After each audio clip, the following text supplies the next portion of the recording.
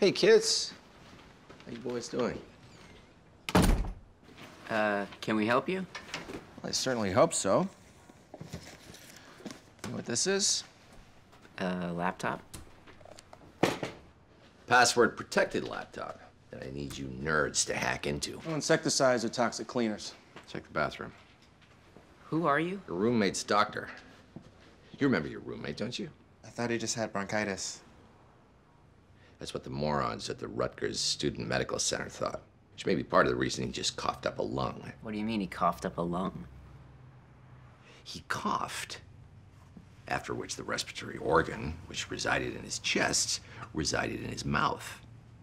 Actually, his hand. Well, his mouth, then his hand. Bathroom's clean. It's in this. Just soda. Mind if I have some? You want my drink? You got a problem with that? Uh, yeah. Actually, I do. You barge into our room, start looking through our personal private stuff, demand I hack into a computer I think I can safely assume doesn't. Oh, I'm sorry. Did I break your concentration? Please continue.